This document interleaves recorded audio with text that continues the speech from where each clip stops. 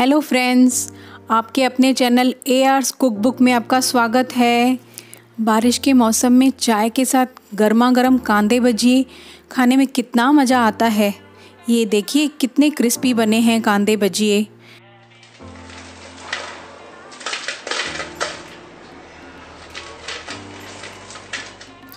आवाज़ सुनी ना आपने?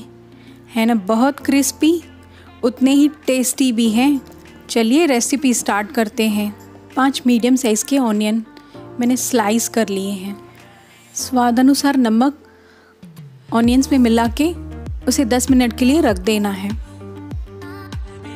अब इसमें कटी हुई हरी मिर्च, एक चम्मच, अदरक का पेस्ट आधा चम्मच, हरा धनिया, एक से दो बड़े चम्मच आप डाल सकते हैं। वन फोर्थ टी स्पून हींग वन टीस्पून चाट मसाला नींबू का रस, एक चम्मच हल्दी वन फोर्थ टीस्पून लाल मिर्च हाफ़ टी स्पून या आपकी टेस्ट के अकॉर्डिंग इन सबको अच्छे से मिक्स कर लेंगे।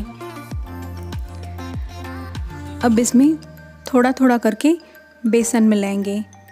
मैंने लगभग एक कप बेसन, उसके सामने वन फोर्थ कप तक राइस फ्लावर या चावल का आटा लिया है। अब राइस फ्लावर डालेंगे। अच्छे से मिक्स करेंगे। हमने बैटर में पानी नहीं डालना है। इसलिए जितना कांदे ने नमक डालने के बाद पानी छोड़ा है, उसी में हमें बेसन और राइस फ्लावर की क्वांटिटी अच्छे से मिक्स करके बैटर बनाना है। अब मैं इसमें फिर से थोड़ा बेसन और थोड़ा राइस फ्लार मिक्स करूँगी। हमें राइस फ्लार और बेसन बैचेस में ऐड करना है, क्योंकि हमें पानी नहीं डालना है। आप राइस फ्लार की जगह पे कॉर्नस्टार्च या कॉर्नफ्लोर भी ऐड कर सकते हैं। इससे क्रिस्पीनेस आती है, पकौड़े क्रिस्पी बनते हैं।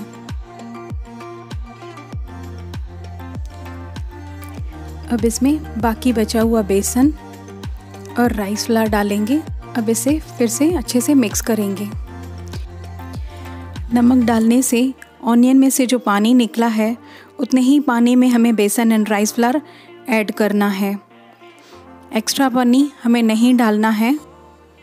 ऑनियंस हमारे अच्छे से बेसन में कोट हो जाए, बस उतना थिक बैटर हमें बनाना है। देखिए, कितना थिक बैटर है। ऑनियन सिर्फ़ कोट हुए हैं। ऑयल मैंने गरम कर लिया है। अब इसे फ्राई करेंगे। हाथ से छोटे छोटे अमाउंट में बैटर लेके उसे फ्राई करना है। डायरेक्ट ऐसे ही डालना है। अगर आपको बैटर हाथ में चिपकता है तो पानी से हाथ गीला कर सकते हैं।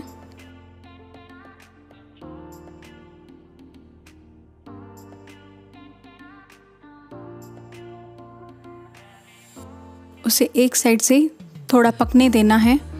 उसके बाद ही पकौड़ों को फ्लिप करना है। टर्न करना है।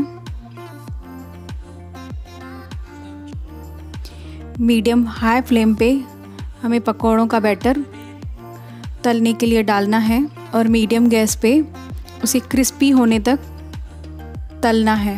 तलना है। बीच बीच में इसे इसी तरह फ्लिप करना है। टर्न करना है।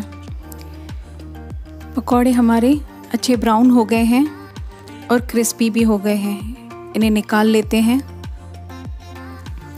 अब इसी तरह दूसरे पकौड़े भी डाल देते हैं तलने के लिए।